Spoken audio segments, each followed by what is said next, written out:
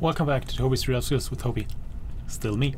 Today's video will focus mainly on this relay, which you can see here right now. After we updated, um, in this case, update uh, version 3, we, I, I realized that the relay settings we just did a couple, you know, videos back were basically overwritten and not existing anymore. So I remembered it and I knew it. Oh shit, yeah, we did just make it temporarily instead of persisting. Which means as soon as you update again another firmware, it will be overwritten again. So what can we do to avoid this? Pretty, pretty simple. I think so at least.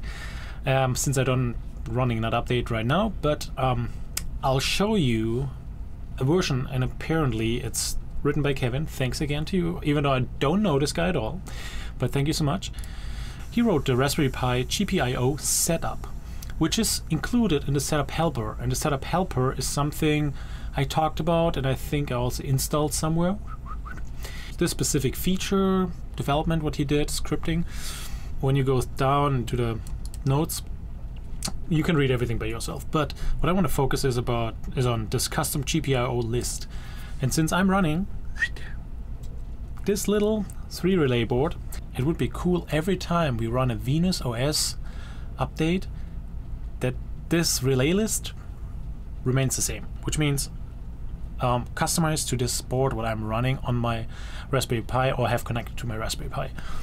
And that's what we're going to do. So it means this is the path where the file will reside, our customized file. I'll copy also this uh, command in the description below. When I go back here into my Raspberry Pi console, or sorry, when I go back into my Venus OS console, very important, you have to know the IP address. As I always say, you have to know the IP address, put it into a browser, and that's what you will see. Um, you can also use, of course, your external screen. Now we'll switch into settings just to see what's the status of the package. So it means we'll go settings, then we'll go down all the way, package manager, look into the active packages and then we'll see, yes, I did have RPI GPIO oh, setup stored, but it looks like not installed.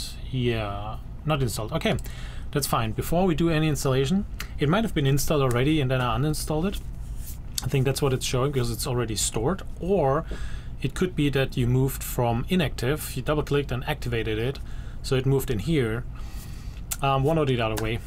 And what I want to now show you is, of course, requirement as mentioned, you need to have the IP address. So it means I'll take the putty, putty, connect. I'll connect now to my Raspberry Pi. There we are. And what I need to check is basically, I told you, this is the path what we want to check on if there is this of if there's the GPIO list if this file exists already, because that's the file we want to customize and put in our configuration for our relay board. So I'll copy this path because I do a cd, like a change directory. I copied it already with a keyboard and with ls, do not auto install, option set. So there's no file, as you can see here, which means for us, we're create it. Perfect, that's all I wanted to see. Which means we have to make sure we use the right name. And the right name is this GPIO underscore list. So that means we'll do a nano command, this one, and that's an empty file what we created here. And now I will copy, um, let me see, do I still have it? Yeah. From this link, which we worked on in uh, one of the previous videos, and I, mean, you can just copy this one. I think that's what we're doing. Copy everything which is in here in the code. And now I'm, so I did the control C for copying. And now I just right clicked and paste everything in here. And we'll go up to here where it says relay 1. So what's happening here, we want to change it. As you remember, this is the board. We do have all those pins mentioned here. We want to use pins 26 for relay 1, 20 for relay 2, and 20, pin 21 for relay 3. So that's what we want to change, which means we have changes to, what did I say, 26. Very important, that's the comment, and then I'll do also change it here, 26. Then we do have 20 here, change it in comment as well. Who knows who might read it? Maybe you don't remember what you did, so you want to read it. And then we have 21 here and 21 here. And then I want to make sure really for the hashtag in front of the 26 here and also hashtag in front of this one and also hashtag in front of this one. So relay 4, 5 and 6 have now a comment. The hashtag just basically says it's not valid. That's what we did. And now everything else I just copy and paste. I didn't change anything, so feel free. Everything ha which has a comment in front of it, the hashtag in front of it, delete or whatever you want to do. Um, we don't need everything else. Control X for exiting, Y for saving, and then enter. And now when I type in ls, then we see there's the GPIO list file. Perfect. Going back here into our VRM console. So the first step was we created a custom file, the custom GPIO underscore list file. When we do the installation of the RPI GPIO setup, fingers crossed, it will recognize, hey, there is a custom file, and then do the reboot. Still fingers crossed, and then we see three relays with the correct pins. So let's see. Double click RPIO, RGPIO setup. Click on install, proceed.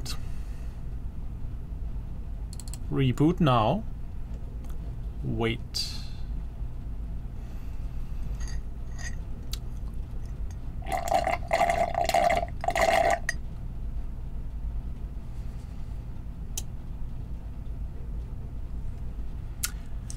Did you see this?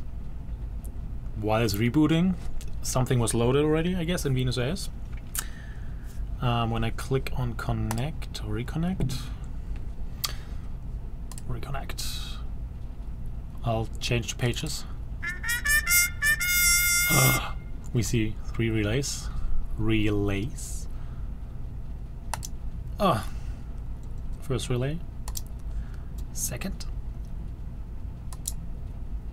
third is on.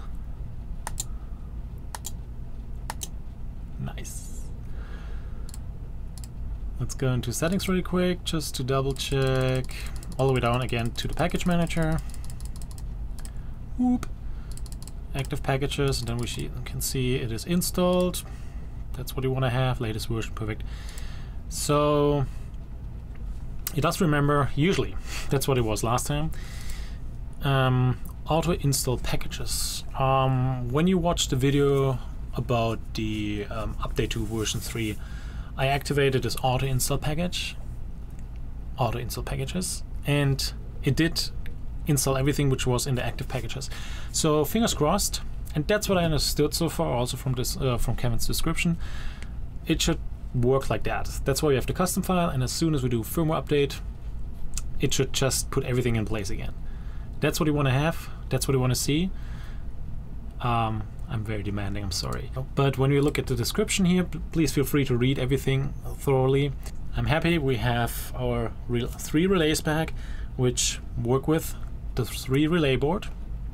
And that's all I wanted to see and all I wanted to have.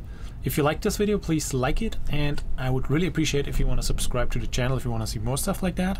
One last word, I hope that the audio is better today. Please let me know in the comments if this is uh, resolved. I apologize for the last videos, I didn't know. Let me know in the comments if uh, you like this video or if you want to see something else. I'm happy to answer whatever I can, hopefully. Thanks for watching. Tschüss!